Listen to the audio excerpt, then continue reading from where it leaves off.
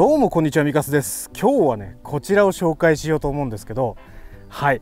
今日はですね折りたたみ式のえまあ電チャリもうナンバーついてるの見えると思うんですけどいわゆる原動機付き自転車のまあ電動版のやつの折りたたみでしかも日本のメーカーの商品でございます。えー、まあご覧いただいた通りですねすんげえコンパクト、まあ、今日はねジムニーで積んできたわけなんですけどまあちっちゃい。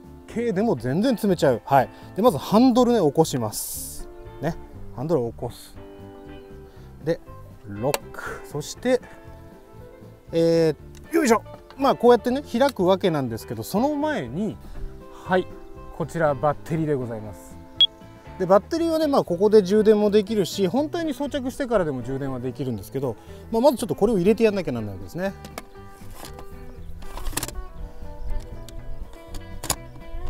でバッテリーを入れたら、えー、この裏側に鍵でロックがついてるんでロックすると。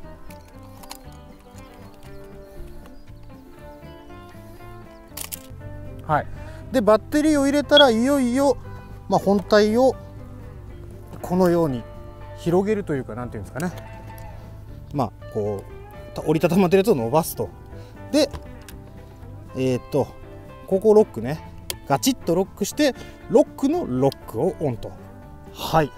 で、まあ、ハンドルを走行方向に回す。で、まあ、椅子の高さを調整する。完成でございます。ではちょっと細部見ていきましょうか。さあまずは、まあ、ミラーがついていたりウインカーがついていたりね。しております。さあそして LED 製のヘッドライトタイヤは電動自転車の使用用途に合わせてチューブ入りのちょっと太めのタイヤ耐久性重視らしいです。そしてアルミホイールからのディスクブレーキ。もちろん後ろもディスクブレーキ。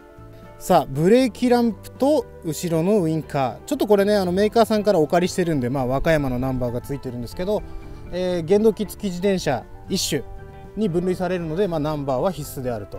なので、まあ、もちろんヘルメットも必要なんですけどね。でこれですよこれ。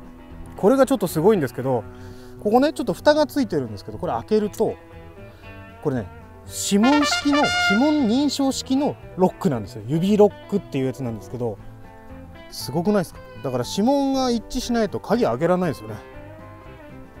でこじ開けようにもこじ開ける穴もないみたいな。素晴らしい。そしてリアモーターですね。リアモーターからのまあ、ペダルで焦げますよと。さあこれが、まあ、メーターというか、えー、まあ、まず真ん中が主電源ですね。はい入りました、まあ、あの時速だったりとか2段目がオドメーター。で3番目がエコメーターになってますね。で一番上のボタンがこの真ん中の表示をオドからトリップに変えたりこれは何だろう？41.5はい、まあ、真ん中のメーターを切り替えるボタンですね。で下これが、えー、モード切り替えボタンですね。えっ、とまあ3段階になってます。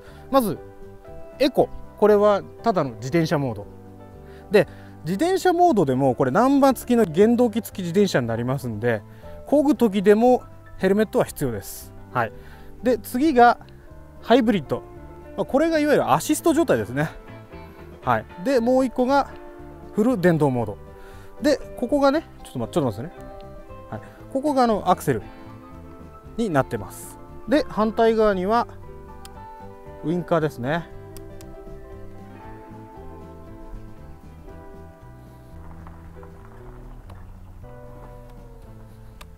さあでは今日もモトブログスタイルでいこうと思います。発信。本当はねあのー、こんなフルフェイスとかいらないんですよ。そこまでじゃなくていいと思うんですよ。ただあの撮影の絡みでねこのヘルメットのマイクとカメラの絡みでつけてるだけです。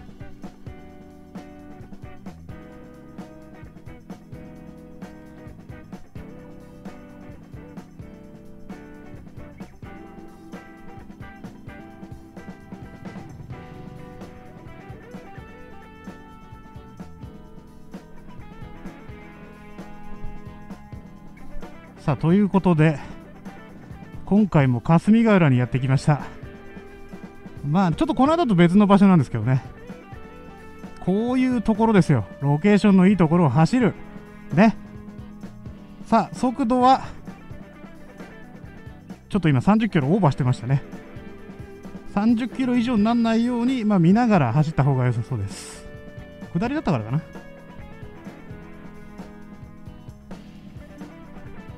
いや最高だぜ。すげえ気持ちいい。さあこのグラフィットバイク。えー、っとバッテリーがですねバッテリーの持ちが街乗りだとね、まあ、20キロちょっとみたいですね。ただこういう場所あの信号とかあんまりない場所。だともっといっぱい走るんじゃないかと。うん。まあ何しろねコンパクトですよ。すんげえちっちゃいの。ちょっとあのうちのジェイコさんが乗ってる映像を後から出そうと思うんですけどまあちっちゃい。でえっ、ー、とまあサスペンションとかはついてないので、まあ、乗り心地はちょっと自転車かなっていう感じはあります。ただその代わり合成があるので何ていうんですか。ふにゃんふにゃんっていうのはなく結構クイックですね。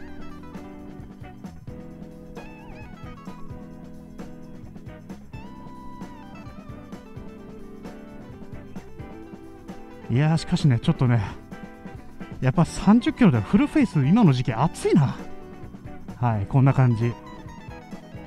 さあちょっと U ターンしてみましょうか。まあタイヤちっちゃいんで小回りはめっちゃ効きます。ほらすごい すげえ小回り効くこれ。でえっ、ー、と何ワットだっけな？ちょっと今出しておきますけど。えー、まあそんなにねおパワーあるぜこれはっていう感じではないんですけどまあ十分走ります。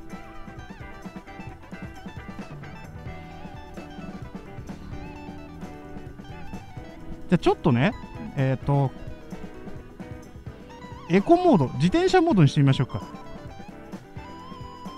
ギアとかはついてないんですけど、タイヤちっちゃいし、ギア比のあれもあるんですけど、軽いです。まあ、普通にママチャリ感覚で漕ぐと、まあ、こんなもんですね。で、これを、アシストモード。あ、軽っ 軽いんですけど、こいでもこいでも進まない。まあ、これはギアがないんでしょうがないですね。うん。やっぱ電動モードがいいな。はい。で、えっ、ー、と、普通に原付きなので、まあ、もちろん免許がいると。ヘルメットもいると。まあ、で、なるべくならね、グローブと長袖は着用したいところですね。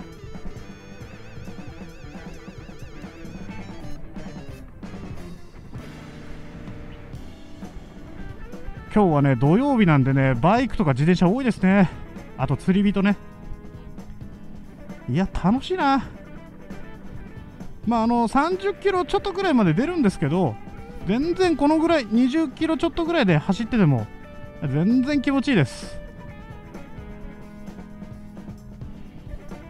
まあだからね、やっぱりこのコンパクトさですよね。あとはやっぱりね、その日本のメーカーっていうのがすごく大事で、まあ、連絡、ね、何か不具合が出た時のやり取りもそうだし、まあ、手厚い保証というか分かんないこともすぐ聞けるし、ね、やっぱり日本のメーカーがっていうのがいいですよね。でね、えー、この商品、えー、クラウドファンディングでもともと始まった商品なんですけど日本の最高記録を塗り替えた商品で1億何千何百万の支援があったとすさまじい すさまじい人気ですよ。で、まあ、今回ちょっと初めて乗ったわけなんですけどめっちゃコンパクトでああやってジムニーに積んでても全然余裕があるぐらいコンパクトに積めると。なかなかないですよねこんなの。すげえいいわこれ。だからもっとあの中国製とかのパワーがあってサスペンションもついててっていうのを紹介しましたけど正直こっちの方がいいですね。うんということでではジェイコさんが待ってるんでチェンジしようと思います。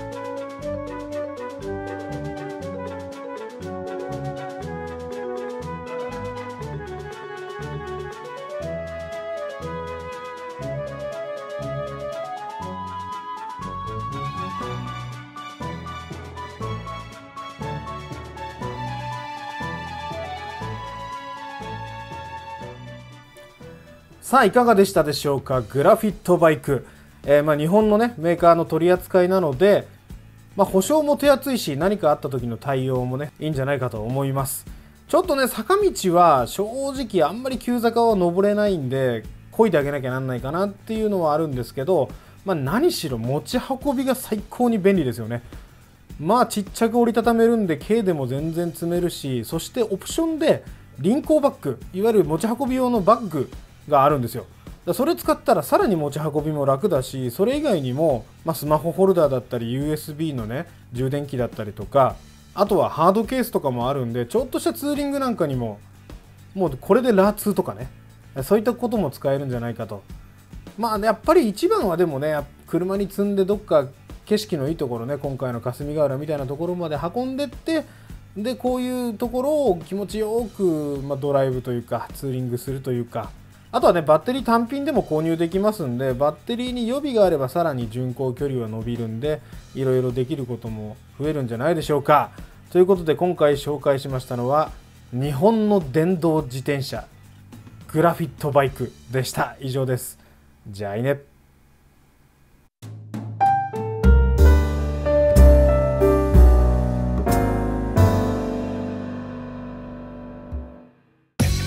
さあいかがだったでしょうか？もしよかったらねこっちの方登録お願いします。じゃあね。